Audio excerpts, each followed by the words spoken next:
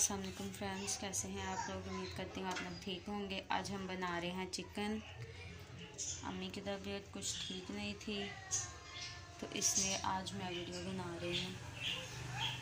Chicken का सालन बनाएँगे पहले हम चिकन को अच्छी तरह से फ्राई करेंगे, घी में डाल के। इसमें हम हल्की सी काली मिर्च ऐड करेंगे।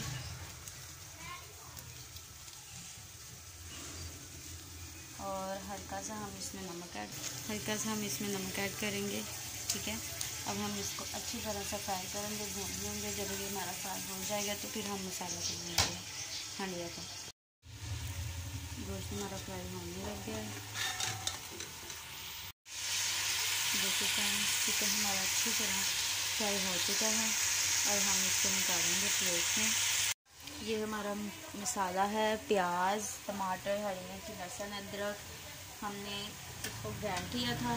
ग्राइंड करने के बाद इसका पानी अच्छी तरह से सुखा लिया। बस इसमें हम घी डालेंगे तो फिर इसको भूनेंगे। भूनने के बाद हम इसमें मसाले वगैरह डालेंगे। मसाला हमारा अच्छी तरह से भून चुका है। अब हम इसमें मसाले डालेंगे। ये हल्दी है। लाल मिर्च है, धनिया है और नमक है। देखिए फ्रेंड्स हमारा मसाला कितनी अच्छी तरीके से भुन चुका है। ये हमारा गोश्त है, जो कि हमने फ्राई किया था। और ये हमारा मसाला है, मसाला हो चुका है तो फिर हम गोश्त में ऐड करते हैं। अब हम इसमें गोश्त ऐड करने लगे हैं।